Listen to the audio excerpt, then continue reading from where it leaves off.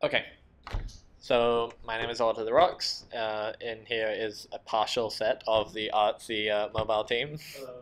Um, and we're gonna go through the latest, the code base of the latest uh, iOS app that we've released. That is the tvOS app rather than the iOS one. So that's called Emergence. Um, what happened was I tended built most of this all on, on my own, and so like I know this entire code base, but the rest of the team doesn't. And ideally, what we're going to do is try and go through as much as possible, discuss some of the like design patterns, figure out like why we made some choices, and also try and like make sure everybody understands what's going on in the code base. Um, okay, so I'm just gonna get started straight away, um, and we could just start on the app delegate. I know it's crazy, right? Um, the only interesting thing in the app delegate really is like this notification. Um, which is a like this is a constant that comes from the TV TV services that says that um, if the app is on the top row, so like the equivalent of the dock for the TV, um, then it gets this extra content. So I can show this by running it. So while it's doing that, um, you also get to see the first time user experience where it shows images. Every other time then it will only show as blank white the entire time. Um, so if I go back, now that notification tells the OS that those bits of data here that you're seeing along the top, the featured shows, actually exist. And that it should like run this extension in the background. Um, so I think it's a good place to actually start at the extension. So the extension is two Swift files. There's a service provider, um, lots of comments uh, and a, a single like networking uh, NSURL session kind of thing. Um, and what it does, it's really simple. It just runs a, uh, an NSURL session, pulls in uh, some JSON, and basically just passes out an XApp token. So like one of the problems ish here is that I didn't want to have this big uh, like pod file that included pods in anything other than the application because uh, you know it's just more complicated that way. Um, so what I ended up doing was I these keys and things like that uh, all come in from uh, from CocoaPods in the actual app, but then I'm referencing them as though they were like copied files into it. So it, it's a lot easier to explain once you see that the paths here uh, are actual, you know, pods slash pod slash pods, and then I just copied them in, and then they were there and available, but they're not actually in the actual source, and they're not in CocoaPods. So it's just a reference to the existing files installed by CocoaPods. Yes, they're a reference to the existing files that must exist in the app, but they're just like like dragged in basically and said like, do not copy, but reference the existing ones.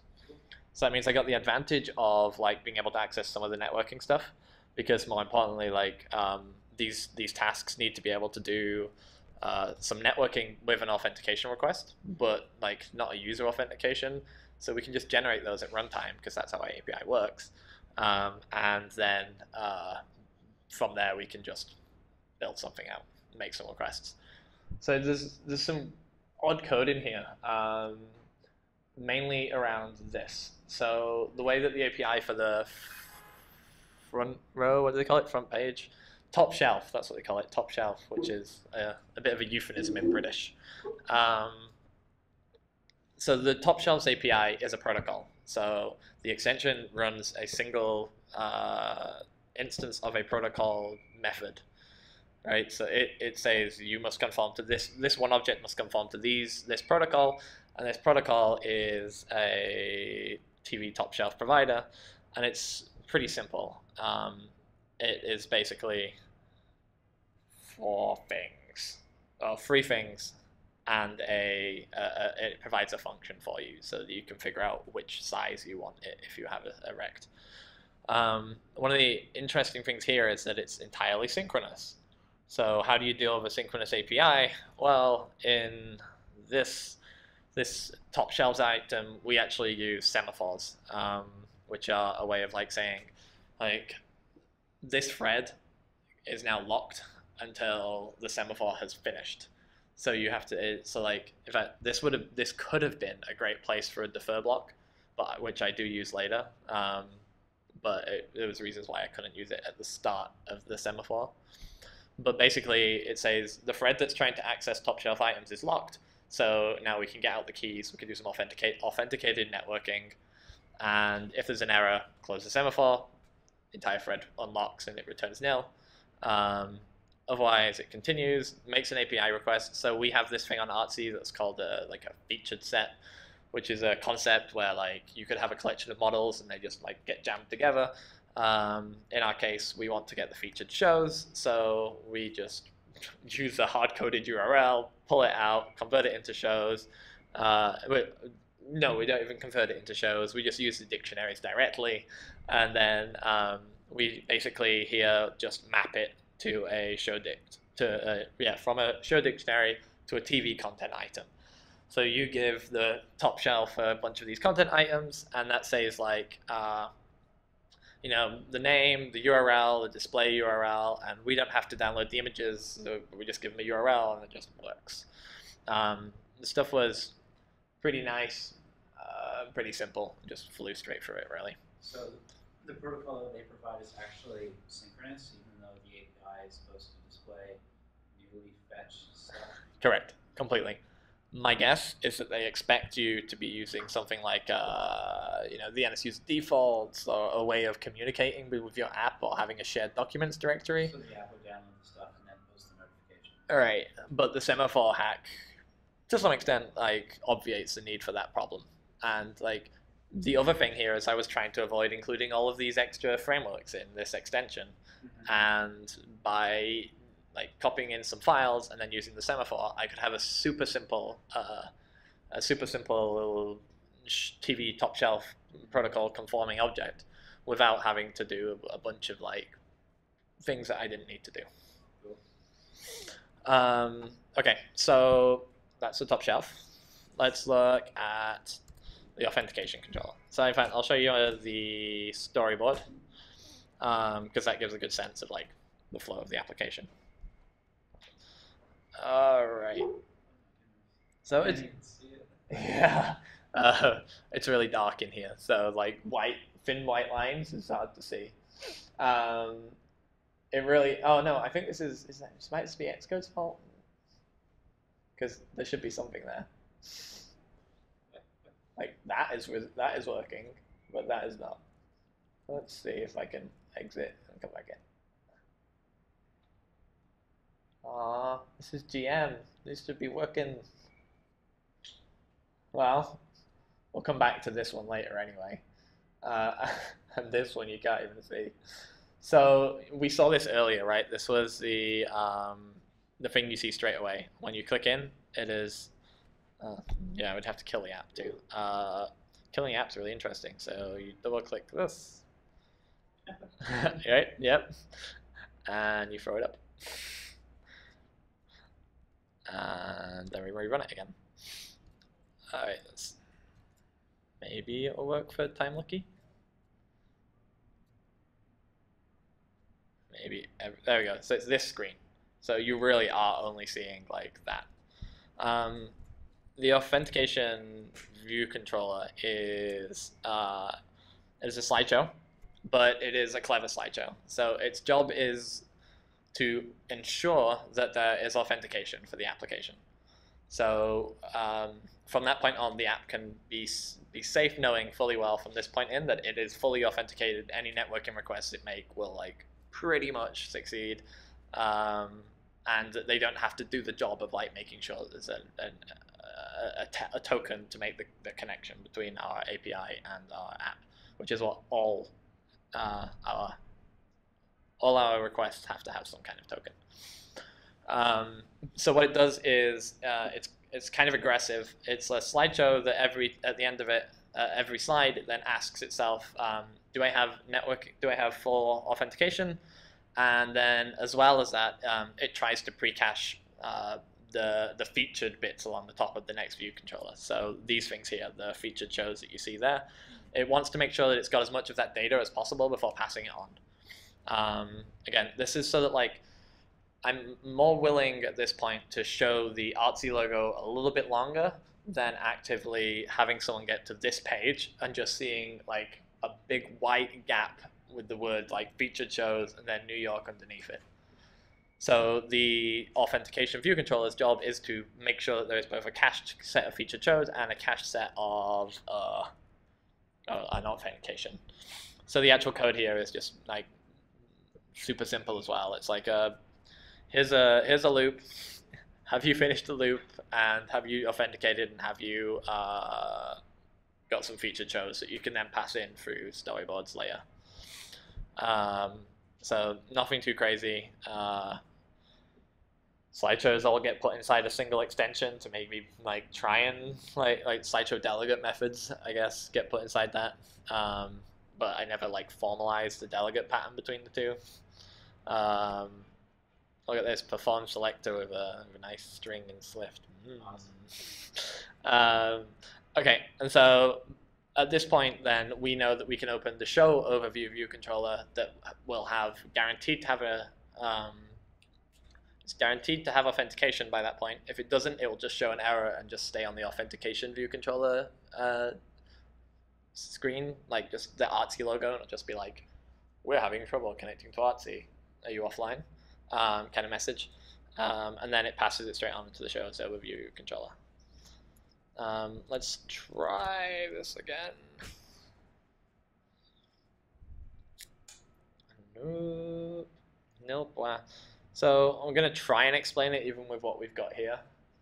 So this is a this is the right the show. Uh, I called it the host view controller at some point, but it's really the show's overview view controller. So that's what we're seeing here, and this is a collection view of collection views. So at the top here, we've got, yeah, I know, yeah. But like, this isn't even my idea. Like, I tried a few other things first, and eventually, like, just started going through Apple's sample code offline, and it was just, this is how they did these kind of things. Exactly. It, it makes total sense. It made it, it, switching to that meant that I had to do none of the like the touch input stuff myself, and it just elegantly kind of handled itself nicely. Um, so this just handles like up and down swiping pretty pretty elegantly.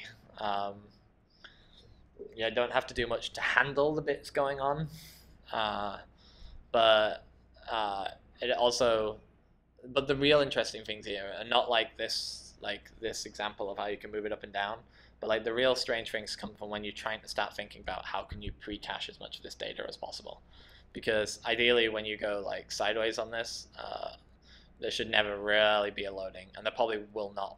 If you saw up here, um, it now says 89 current shows, whereas previously it didn't.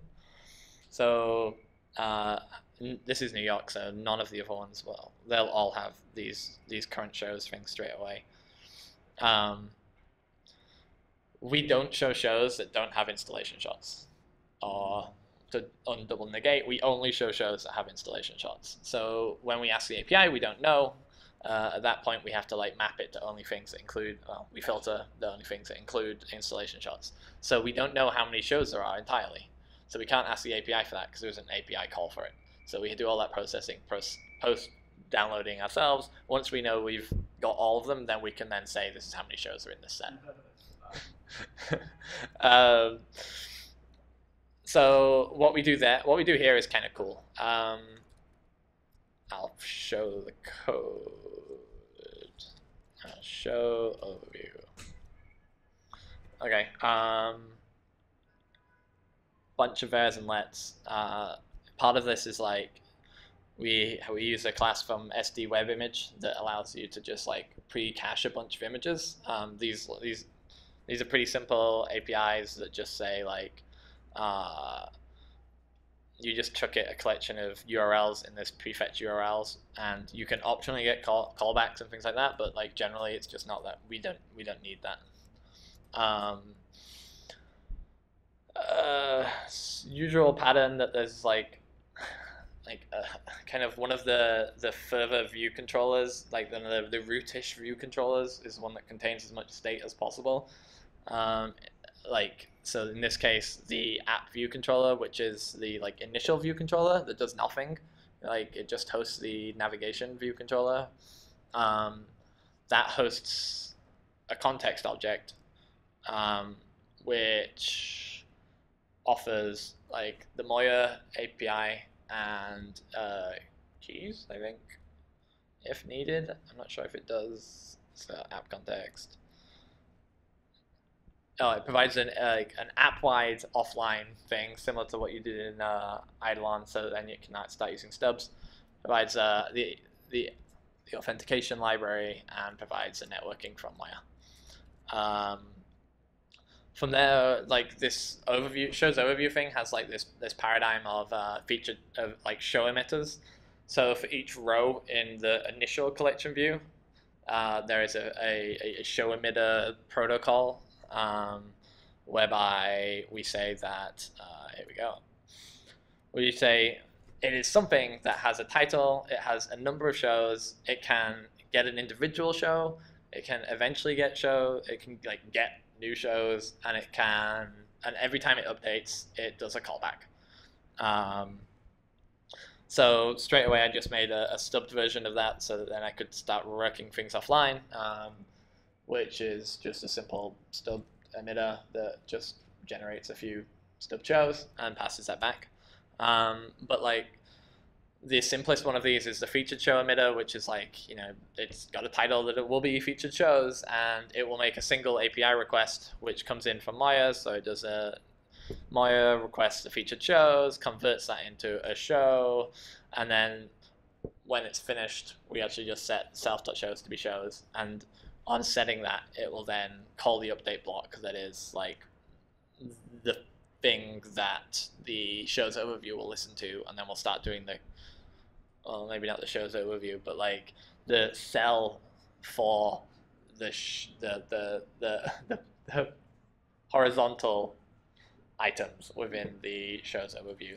So these ones, the things that are going across, like the Paris ones. So this cell gets the update notification. Um, then what it does is uh, we have a, this is a great weird hack, right? So there's a location host.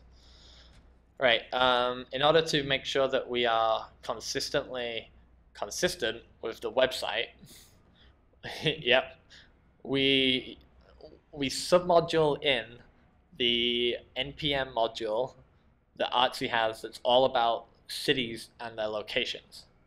And then we take out their JSON and we convert that into Swift objects. Wow. So that's what this is doing. I mean, whenever I'm like complaining about Swift, it's because I'm doing stuff like this.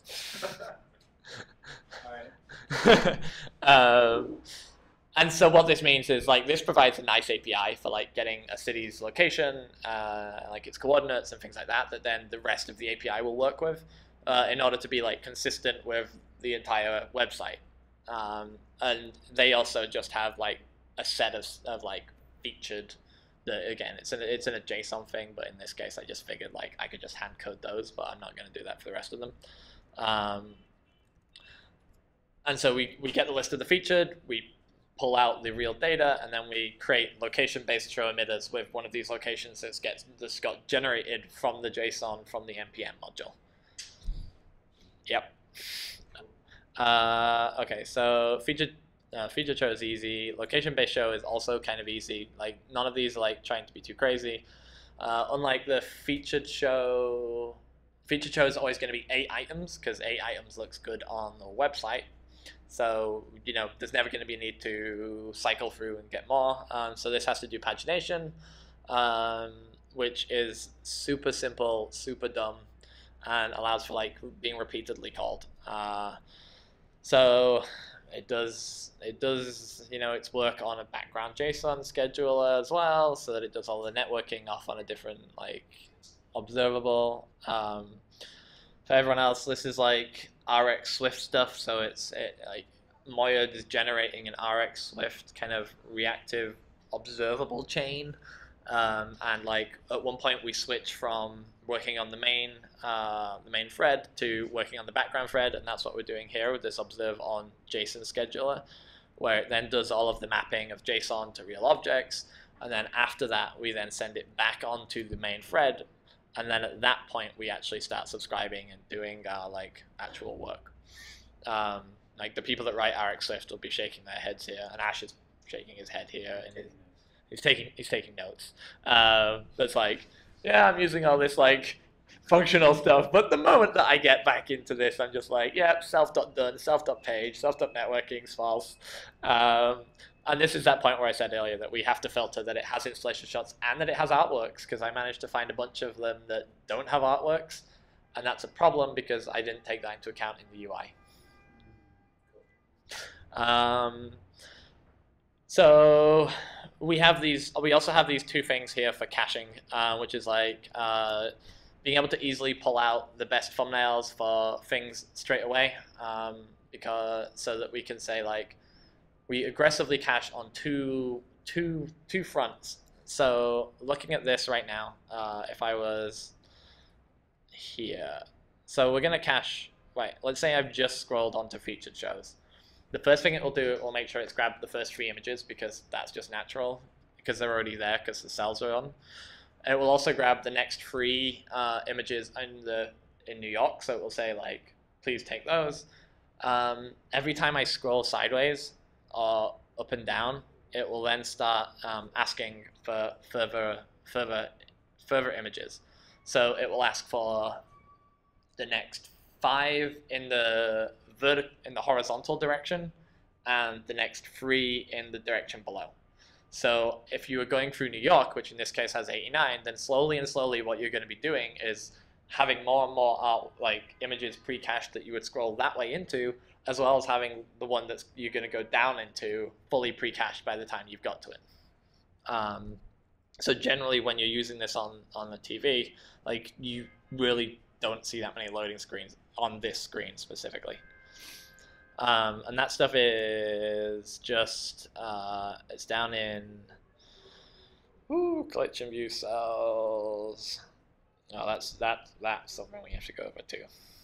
Uh, in this focus stuff, um, which says like check see if you're moving sideways, so they both have the same clutch of your parent. If they don't, don't bother doing anything. Um, if it is I'm clicking through. Oh, right. It makes sure that it uh, it doesn't do anything if you have clicked on the about at the top, um, and then starts to look at whether what type of um, views exist within the structure because you are getting an update focus like deep down into the the collection view cell. So you're seeing the you're seeing the cell that is being selected. So in this case, uh, ooh, we could use this if this works. So the one selected is um, like pretty deep in the view hierarchy because it is the collection that is the collection view cell that is actually selected. So in this case, uh, can I make that bigger? All right. So in this case, the selected cell is this, but I want to go from that cell all the way back up to the source of that cell. So it has to go through both the current collection view that it's in out into the outer collection that moves up and down. So from the horizontal one to the vertical one, and then from the vertical one to be able to figure out what index the like the things to start caching from from. Um, not terrible, but like when you're writing code that says super view, superview, superview, superview as something, then you're going to be glad that this concept of guard exists um, because it like makes it really easy to just like have it failable because um, like all of this is superfluous. Like you know, it's just extra niceties on the top. So it's not like if it doesn't work, it doesn't work. Uh, if you started making changes to the view hierarchy, and like it expects it to be exactly four levels up. So, so then silently your code. Yes. Well, not silently. Look, return print needs to be a blah blah blah. blah, blah. It's more that like, well, that's going to the developer. The developer's going to be like, you're going to see that like 50 times the moment you load the app if you uh, like just start scrolling around. It's not failing It's like I didn't want it to fail and like die because it's not critical. It's not like you know error. It's just not gonna like pre-cache some shows, which means it's still like it's not gonna pre-cache the the preview image for some shows. He's not. He's not convinced. Um, and I'm not going to convince you, obviously. So that's fine. No, I feel like I'm missing. No, you, like there just isn't an elegant-ish way to go from like one collection view to another collection view. No, To then eventually get it rid feels like this is something that's a guard for when you ever change what the UI looks like, and then it seems like also be an assertion just just die because we need to this code Right. has to work. Yes, but I also don't trust that Apple might not change something in the future. Cool. Oh, got it. Um, okay, so other things. Oh, this is some more caching here because you know we got we got caching everywhere, um, which is like. So we request the images, but we also make the request for the the next page of a collection view that is also the one that you're currently on, as well as the one that is below every time you change focus within any collection view to make sure that all that stuff is there. Um, one of the hardest bugs that I had in the entire thing was that if you scroll up and down really fast and you start making changes to collection views, by the time the collection view has actually gone from you saying that you've started to make a change to you inserting the, the data, the collection view could have been reused at that point. yes, because you can scroll really damn fast with a TV remote, but you can't scroll that fast with the little little thing on there. Um, so what we do is we actually start getting the velocity of the, the scroll speed, and we have different behavior inside the. Okay, so we might have to jump into this in order to talk about it properly. Um, so the shows overview has that cell. The cell is the one that contains the horizontal stuff. So that's a show set, show set collection view cell. Oops. Um, so first of all, there's the Slack reference for me like typing it all out and talking it through.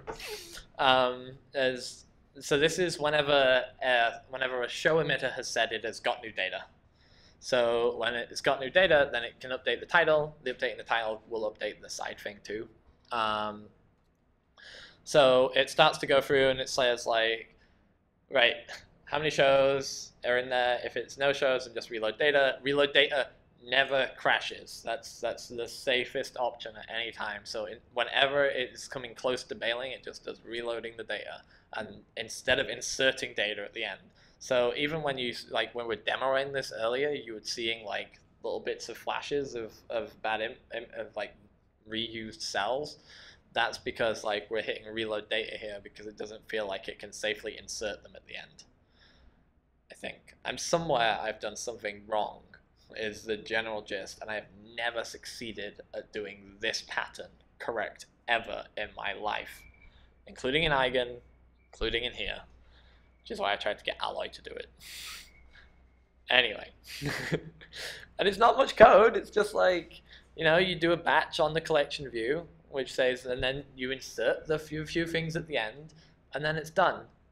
Um, nothing crazy. Like I managed to get it down to two lines because I spent so much time in this code that I could just keep code golfing it because I had nothing better to do. Um, and that's yeah. So it checks to see if it's scrolling. If it's it's only scrolling if it's uh, like above a certain speed when it's going vertically, um, and if it if it isn't, then it will just like work.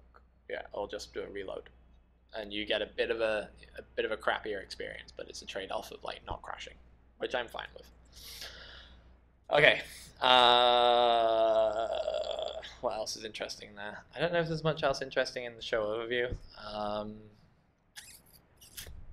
no, oh yeah, kind of interesting um, because we're doing push uh, pushes onto a navigation stack. The authentication view controller is still in the navigation stack because it just pushes it along. So the moment it like appears, we then go through all of the view controllers and just remove it from the navigation view controller. So it's gone from like like this to just being like this. Just pushed it across and just kicked it out. Um, yeah, there, there could have been another way of doing the authentication, but like a bunch of the things that you could do were animated into. So like, I want you need it to not animate into like the splash screen. Um, so I just removed it afterwards. I never saw a problem with it. Um, we also make sure that we close the caching when we leave. Nothing fancy there either. Uh, okay, so clicking on any of those takes you into a show view controller. Um, right. First of all, there was a really weird bug that I have still yet to figure out. That is, uh, if I go to like storyboard, so within all of our apps, we have uh, things like this, which is just AR serif label. Uh, for people at home, um, what that does is, oh, that isn't even an AR serif label. It's a UI label. Ugh, well, whatever. So serif label effectively makes sure that it sets that you've got a serif font regardless of what you do in in uh, storyboard. Um, the same, we have the same for a sans serif label, which makes sure that you always have it uppercase because that's the branding. Um, and that also works fine. This probably is because this stuff predates uh, using custom fonts in Interface Builder, which was only added in like six point something. Um, so, right, yeah, the weird bug. For some reason that I have never been able to figure out, the intrinsic height on a serif font on the TV is double what it should be every time. So I have these half intrinsic, half intrinsic fonts things where the actual value is 2.73. Why? I have no idea.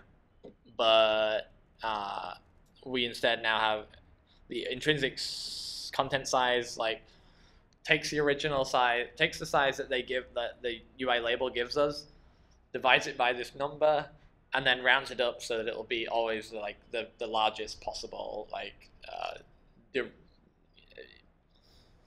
so there'll always be an extra line at the bottom. So it's like if it was going to be if it was going to be zero, then it would go to like 30 or something. So it will always fit at least a single line of Y or two or three.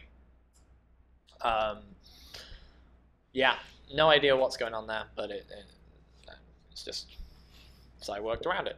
I tried like every single font that we have in there and couldn't fix it. Um, okay, uh, this is just a UI stack view. Nice. Yeah, that's also really weird too. So there's no way to set individual margins on or anything like that like we do regularly. Um, you have to like create a view inside there and then create your views inside that one with a little bit of the side thing. Um, this white thing here acts a lot like a concept that we have again in Eigen that is a white space gobbler. So it is a, a thing that says like I am super weak in trying to stay the same size that you gave me an interface builder, so I will take up all available space. Um, then I just chuck some stuff in, nice and simple.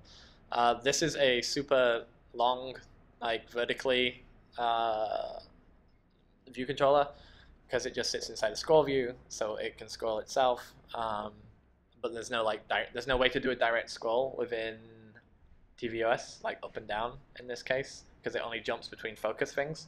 So you have to have something focusable, which is probably what we'll get into like once we've talked a little bit about the the stuff going on in the artworks and the install shots and the about the show and the press release. hey. So these these things are really pretty simple. Um, the to make sure we we know what we're looking at. Um, is this working? Did we stop? Normally everything's working fine. Okay. All right. Uh, oh, I think. Oh no, we we we loaded the. Yeah, we loaded the view debugger, so it stopped everything. Okay. Um, off view controller. Right. So I'll bring up remote. Click it through. Right. This is what we're looking at. Um, just an image view. When you scroll that way, uh, it will. Oh, there we go. That was a good scroll. Um, it will slowly like allow you to move left and right. Um, the collection view looks to see if its index is not zero, and if so, then it will just move its left constraint to make it take the full screen. And it will also animate out the things here. Um, the focus thing works kind of nice because they provide you an animation context. So you can ensure that like the animations can stay perfectly in sync However, when you're coming out from them, they are tiny, tiny, tiny. So moving like an entire distance like that in less than like 0.1-ish seconds is not feasible. Uh, like it's definitely feasible, but it's just not good. So we actually wait until you get to one, and then we add a delay, and then we move it back ourselves. So we, we use the con we use the trans we use the correct way on the way in, but we don't use the correct one on the way of like being in that full size screen thing. Um, artworks, on the other hand, is like the most vanilla like collection view thing we've got going in here. Um, it uses our AR masonry layout thing we built for Eigen um, to make sure everything stays close together rather than being squares. That was really easy. I think I just set it in the. Uh, I think I just set it in here, just like yeah. You can just say like collection view thing, be this one. Found that the other day, isn't that cool? Yeah. Um, so they're nice. Um, so one big show view controller has all this like references to all the interface builder stuff. Deal with it. Um, it has these two generic classes for the delegates for the collection view and the data source for the collection view. Both of those have like really similar mechanics. Like they take a networking request and they present like something that has an like an artsy image with a capital I. So like that's the actual image class, um, which is like something we can't go into, but like uh, later. These collection view delegates are generic, so they're generic on an object, and they definitely conform to the delegate of collection view masonry layout. So what that says is that T has to be an NS object, so it could be anything, but like further on in here, we actually start to take out um, the actual object reference from a generic T to an actual instance of an image. Uh, so like I think maybe I could have made like a protocol that says something is imageable, like where T is. I don't know. I don't know enough about this stuff to maybe do it, but like it just meant that I could have like a single object that would do both the data source for both the artworks and the image views, because all they really care about is like uh, what networking requests they get and what the show is. They both have a lot in common. Um, so they just pull out the image, uh, get the aspect ratio, do the usual kind of like gubbins for deciding like how big it should be, uh, how they should interact. Uh, if it checks to see if it's an artwork, if it's not, it's an image, then it passes itself back in, and then that is then used to like start putting everything together. Um, there's not much going on there.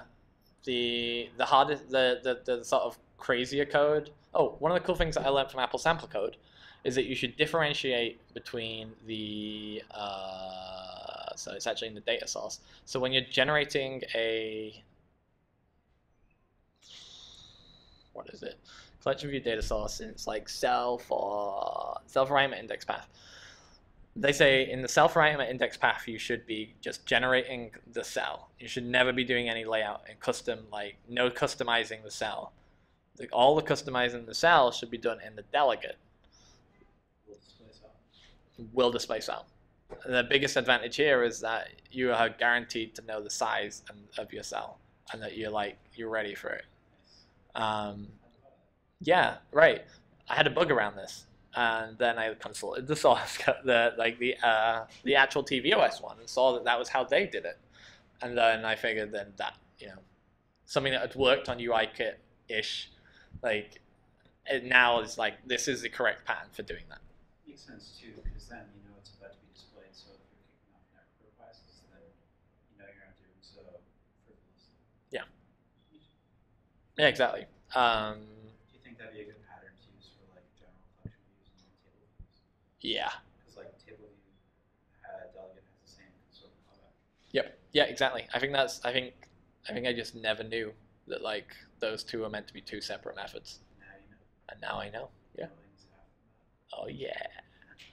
Um, other than that, there's nothing like unique or interesting in here. It's just like getting out the best thumbnails, setting them, um, if we can't like what's this one? If the image is the show, okay, there is a weird thing here, right?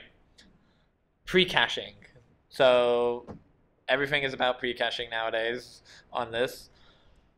There's an interesting thing, right? You we do not want to show a we do not really want to be showing a gray, a gray box here when you load it up.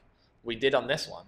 Um, but ideally, what we do is if the image here that is being used is actually exists within the uh, so this works much better when you've got that this should work um, if the install shot is the image for the show so a show can choose to be either an artwork as its image or it could be an install shot what we do inside our data source is the moment that we download all of our the install shots, we go and look to see if it if the image's reference URL, if the show's reference URL is the exact same as the reference URL for one of the installation shots, we pluck it out and we put it at the front.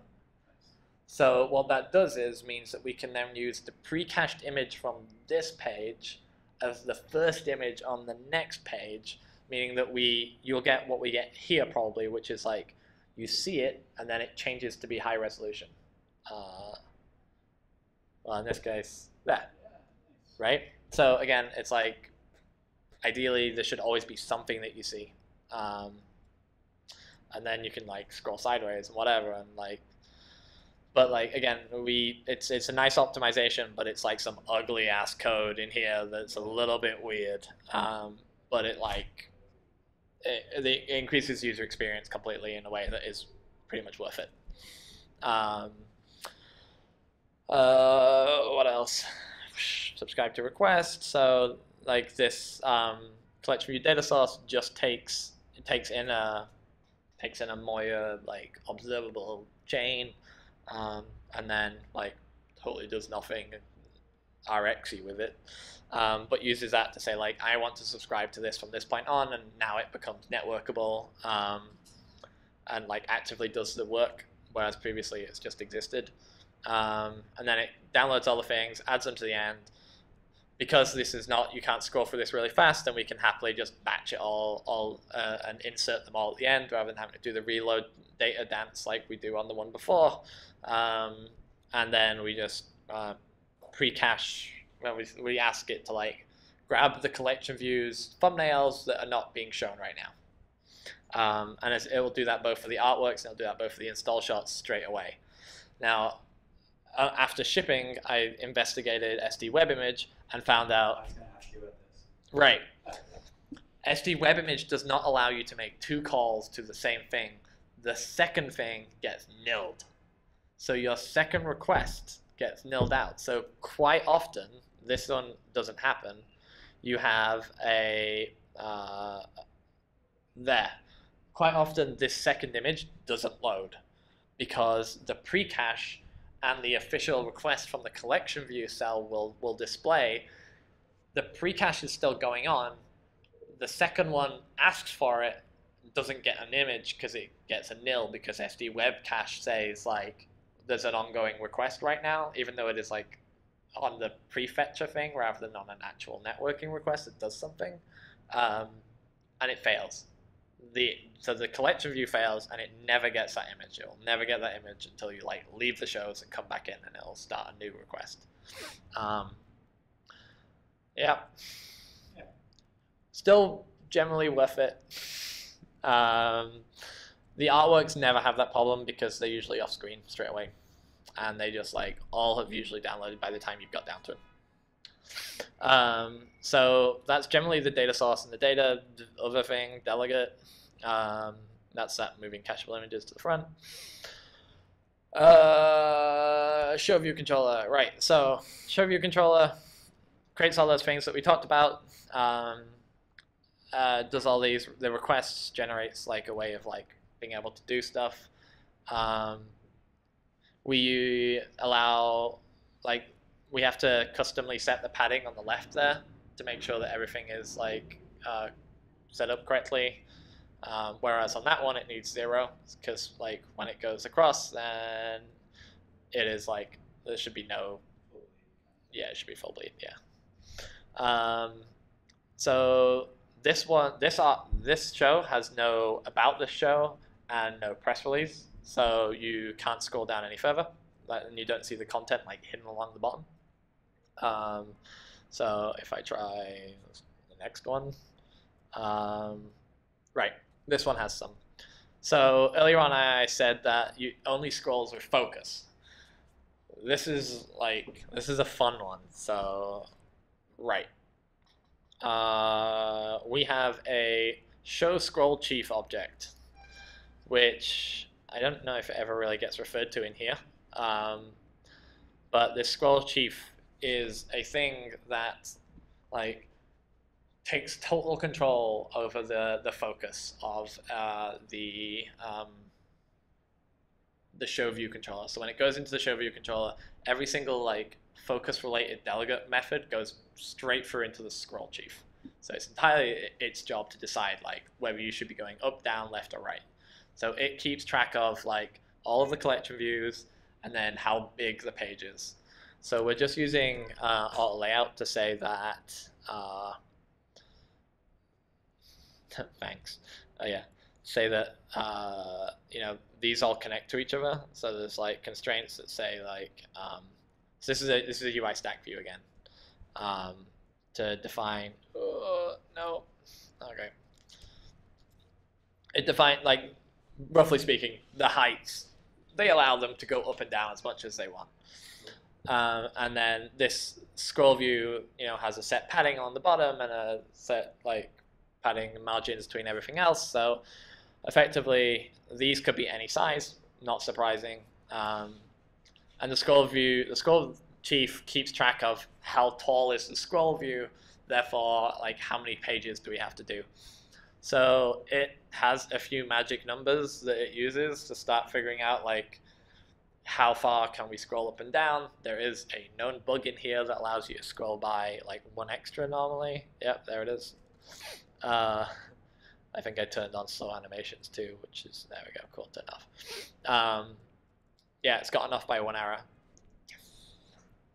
Uh, deal with it one day. Um, so it's not too hard, but all it does is just like have a list of um, views that are selectable, and then it just passes itself back to it, like the root view of the view controller. So the view controller.view and then from that point on, whenever it's whenever it goes to the view, then it gets taken over by this, and then this then manually moves it up and down by providing a scroll position um, in an animation block.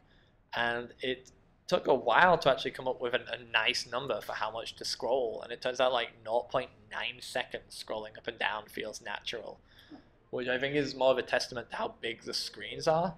Because like 0.3 feels natural on an iPhone, like maybe 4 feels natural on an iPad, but like on this baby, like 9 is like a good size for like feeling like the connection still works in the time in between. Um, okay, so that's the scroll chief. It just, you know, scrolls. It just works on pure UI gesture recognizers, so there's nothing fancy in there at all. Like it's just UI gesture recognizers on the, the root view um, and nothing nothing fancy there. The artwork view controller is uh, not initially an artwork view controller; it's an artwork set view controller, um, which is exactly yeah the same paradigms we have everywhere else, um, where you who would have thought where it is a UI page view controller subclass that is a data source of itself. So it's like, here's an array of artworks. Please chuck in um, the initial artwork view controller. It generates uh, artwork view controller from the storyboard and then sets its artwork and its index, and then you can scroll left and right. The artwork view controller itself is super simple. Um, uh, it just wow, there's a lot of comments there for something that I didn't. Uh, drum thumbnails possibly loaded. Ah, okay. Again, aggressive thumbnailing. Who would have thought? Um, we try and cache. We Yeah. So, okay. So maybe there's a bit of a weirdness. Right. You are. There we go. You're here on this artwork, right? So by this point, you are probably guaranteed to have pre-cached every single artwork image. And so when you go into here, ideally you should have that. So the first thing it does is it, it, it asks the last view controller, like, what is the size of these artwork images? Because like these images that we're grabbing, we set the height and that is what is inside the URL. So we want to make sure that they're fully cached. So it will go and ask the uh, ask for the best uh, thumbnail, and it will pass in an existing image if it can find it. So takes the old thumbnail, chucks it in, puts a new one in on top of it. Magic. Um, this goes backwards, and everyone complains about it, and we're not doing it. Right. So, did you see how when I scroll that way, it, the content moves that way, and the same that way? Is that not how it's supposed to work? If you do it on this, it, it feels like when you move that way. Uh, so you're moving the selection rather than moving the content. Correct. That's the thing. Previously, here you were moving the selection. Inside here, you were moving the content.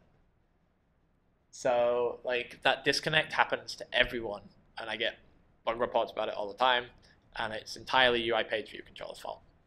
Oh, we can't change it. Nope. Because that's the default, and that's the same on like the iTunes store and everything else, and like it's the way it does So on photos. Really like a, uh, something TV users are just going to have to deal with. yeah, it's a deal with it problem. So there's obviously a bug here where when you come back in, it doesn't set it back to be the right one. Deal with it. Um, and that's pretty much it. Like that's every view controller. That's um, all of like the the general fun foundations of like how all of this stuff works.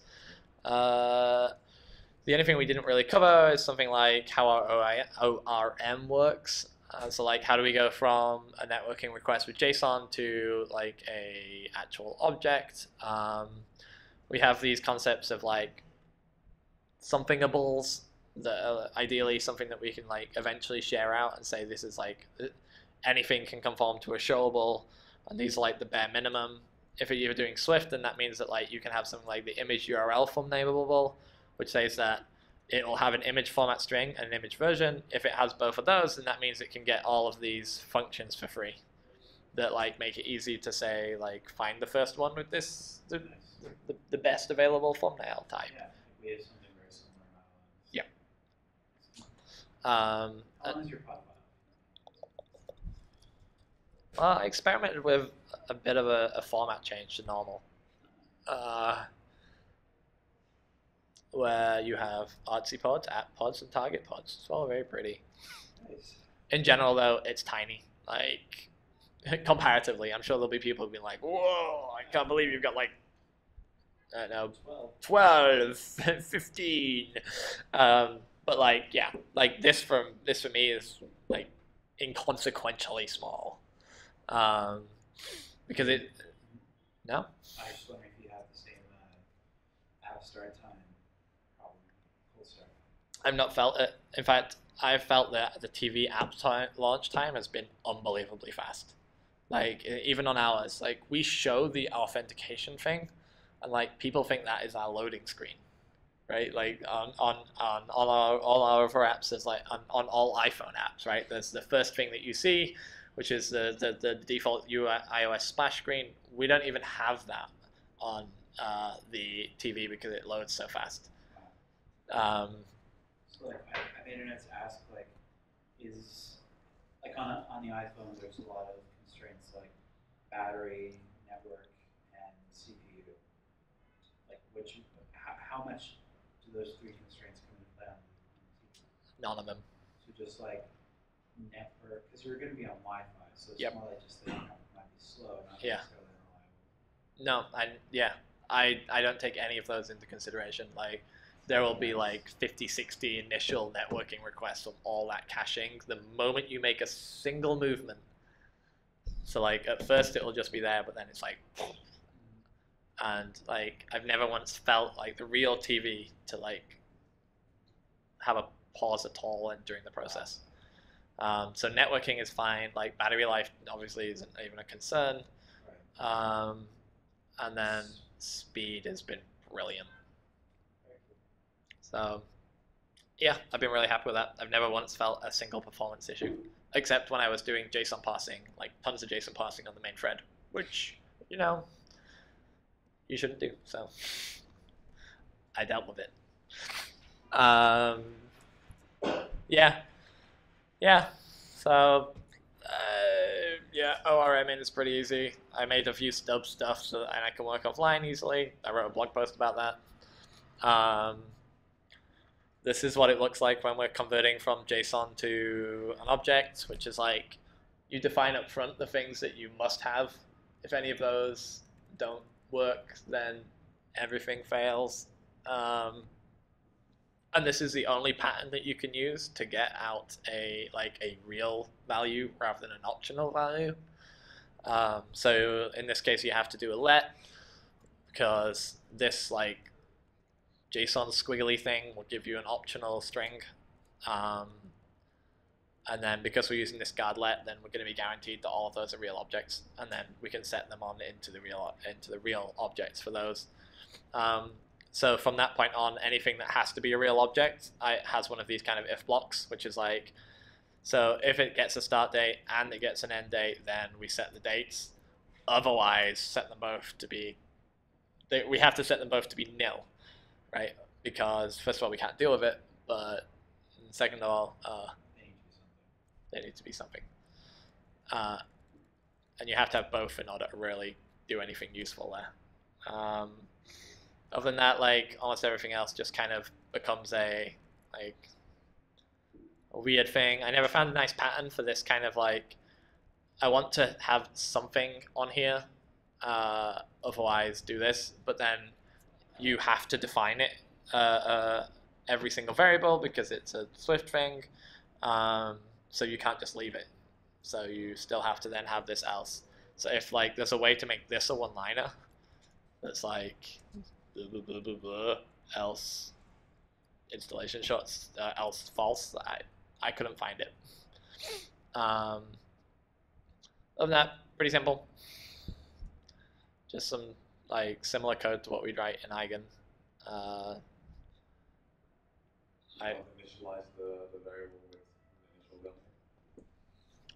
It's not a variable, it's a, it's a constant. Oh, it is a variable. uh, yeah. yeah. So you can just like, Say it's false. yeah, or say it's no. There we go. Yes, I agree. That would work. Well, no, would it work? Do you have to run like uh there's something weird like you have to do init somewhere in there to make sure that all, yourself has been created before you create you change the variables that have already been set. I you're supposed to do it beforehand for on super init if you have a super initializer. Okay. Okay. That's a good call. I can look. Chat. Cool. Um, that's those. Uh, we got a few like protocol-y things, extensions. Yeah. Got our own uh, Ausstellungsdauer to date kind of thing.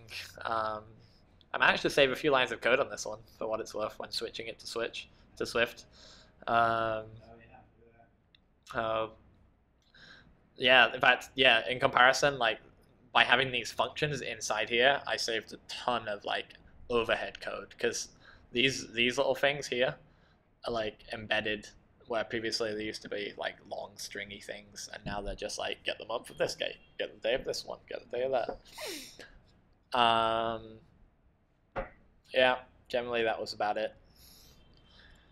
Uh, no tests. Sorry. And that's about it. The general folder structure of this stuff is that I tried to have these contexts. So like you would go in and you would uh, you'd be like, oh, so I'm I'm doing I'm doing something about presenting a show. So anything to do with presenting a show is kept inside here. So like that includes like uh, you know views, that includes actual resources for it, as well as like related view controller cell thingies, like anything that's related to that kind of context. I'm not sure how well that, like this kind of way of organizing can scale, but like for a project at this size and like you know two or three times bigger, like I'm sure this will still be fine.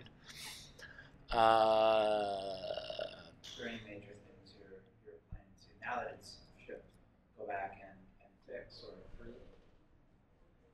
no.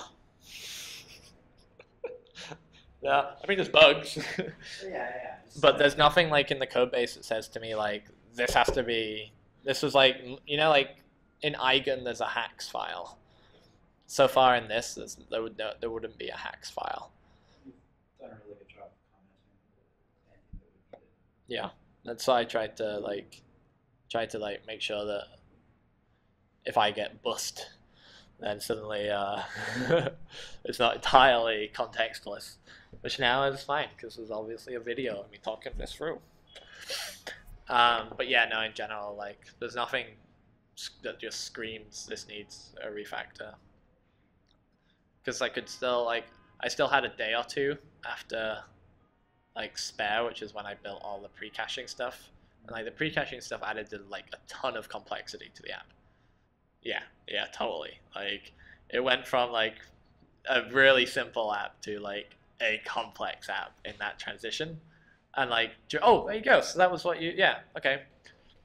The thing that I did straight after this was I started look, reading through SD Web Cache's code and started looking through like what is the future of SD Web Cache and like made an issue on that and started thinking about what is Eigen's uh, image caching like solution. And like came up with a rough idea and then put that on SD Web images uh, GitHub issues saying like this is how I think it could be. I could build this blah blah blah. Um, and then it turned out like there was two pull requests that had enough of a foundation that I could build whatever I wanted on top of that that were just not merged yet. So I just wrote down a note to like build like an RxSwift extension so that you get a, uh, an observable. Uh-huh. If there's already one in flight, then you just get the same one back. yeah doesn't that already exist Uh, we had something similar in Moya. oh right at, at RxSwift level yeah Exactly. But if we built it on top of SDWebImage, then like you would just, you know, chuck it in it chuck it in. If you get a, a new observable or an existing one, it doesn't matter to you. Yeah, yeah, exactly. That that that is the key, right? There it would be just like straight through. Um, but there's also the fact that you have to, you still want to be closing the networking collections, networking connections at the end of like a view to disappear. But then you might want to bring them like back Well, up when you come back in. That's the nice thing with the RxSwift stuff is that you can specify a cancellation block when you're no longer being observed. Uh, yes, and then there need to be a, an easy way to bring back up the ones that currently that did exist, but like there's a pause really. Pause is what I want rather than cancel. Pause. right? It's like pause while it's not being on that view controller and then come back. It's child um, okay. Okay. Okay. All right. Bye, internet. All right. Uh, hope this was productive and that in the time that it has become dark that you have still be able to see me on this video because you know it's all about me. Uh, and well, by the time someone else is seeing this, this blog post must already exist. So uh, I hope I wrote a really good blog post and that it was uh, productive and useful. All right. Uh, send me some pull requests, internet. Yeah. Ciao. And we are